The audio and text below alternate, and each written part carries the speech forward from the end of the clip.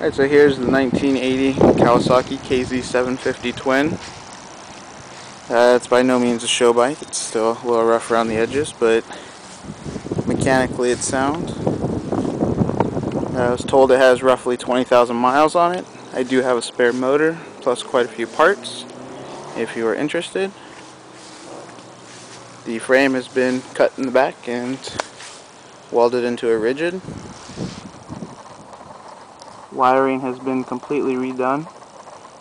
New fuses. There's no gauges, no signals. Uh, there's a rear brake and a headlight. I do have a couple of rear fenders. None that just bolt on, you would have to weld them. or Find a way to attach if you're interested. And we'll go ahead and start it up. Alright, right now it's kickstart only. The starter is still connected, but it is not wired up. Usually kicks over, first kick, two kicks sometimes.